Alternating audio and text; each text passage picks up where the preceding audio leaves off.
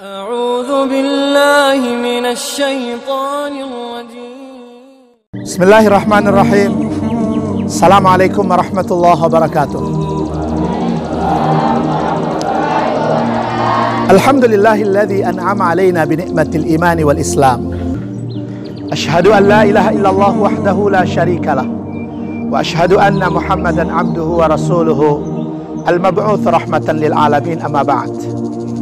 Kaum muslimin dan muslimat, para pemirsa di mana saja.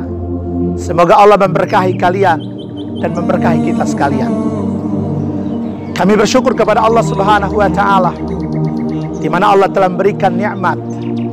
Allah telah memberikan inayah, maunah serta maghfirah dan Islam ini sendiri menjadi nikmat yang luar biasa dalam kehidupan kita sekalian. Dari Ambon Pondok Pesantren Al Ansar, kami menyampaikan rasa hormat dan terima kasih kami kepada seluruh komponen masyarakat atas dukungannya mulai dari terbangunnya pondok pesantren ini hingga saat ini.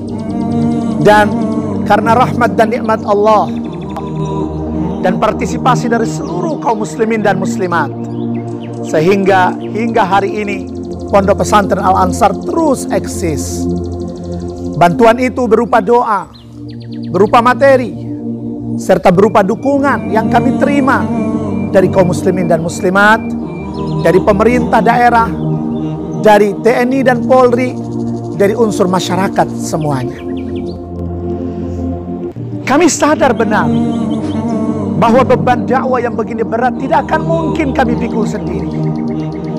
Beban operasional pondok pesantren ini pun tidak akan mungkin kami pikul sendiri. Kami hanya punya kemampuan untuk bisa mengajar.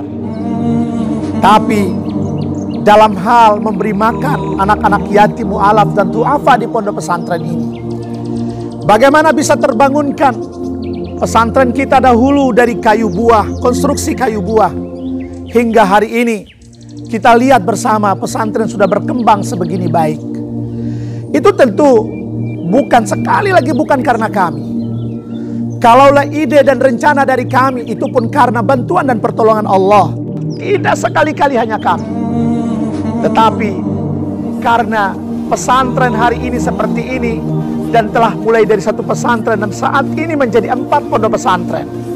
Pondok pesantren Al-Ansar di Bula, Seram bagian timur. Pondok pesantren di Negeri Liang, Kabupaten Maluku Tengah. Dan Ramadan ini lagi sedang dibangun fisiknya bangunan pondok pesantren Al Ansar Namlea itu semua bukan karena dana dari kami, tapi dana dari kaum muslimin dan muslimat. Kami mengajak kita untuk mari sama-sama kita belajar mengikhlaskan niat kita. Apa yang kami lakukan dan apa yang menjadi partisipasi kaum muslimin dan muslimat itu mudah-mudahan kita ikhlas karena Allah Subhanahu wa taala. Karena sepanjang-panjang usia kita di dunia paling cuma 100 tahun tetapi di akhirat kita hidup kekal untuk selama-lamanya. Maka itu partisipasi kita di pondok pesantren ini bagian dari ikhtiar kita untuk mendapatkan kenikmatan di akhirat kelak berupa rahmat dan surga yang Allah siapkan kepada kita. Kami kira itu saja yang bisa kami sampaikan dan video ini bagian dari laporan kami kepada kaum muslimin dan muslimat karena pemilik sah dari pesantren ini adalah kaum muslimin dan muslimat dan kami Allah izinkan untuk mulai dari membangun, mengelola sampai kemudian hari ini seperti ini. Kami mohon doanya.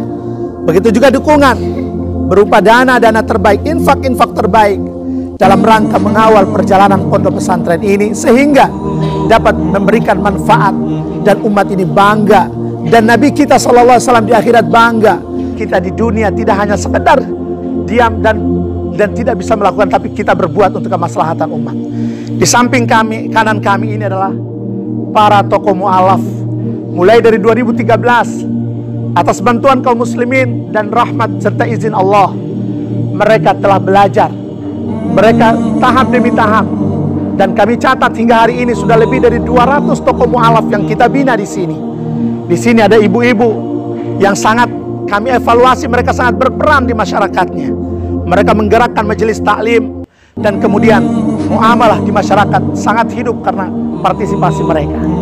Santri-santri masa depan negeri raja-raja Ya, kita berharap mudah-mudahan mereka dengan izin Allah di tangannya berubah kondisi Maluku ini dari menjadi baik. Insya Allah kita berharap mudah-mudahan mereka adalah pelanjut perjuangan dakwah untuk agama ini dan bangsa serta negara yang kita cintai yakni Indonesia insya Allah. Kami kira itu saja. Sekali lagi mohon maaf atas segala kekurangan, kesalahan dan keterbatasan kami dalam mengelola pondok ini. Dan kepada Allah kami berdoa. Mudah-mudahan Allah balas semua partisipasi kita dengan balasan terbaik di dunia dan akhirat. Assalamualaikum warahmatullahi wabarakatuh.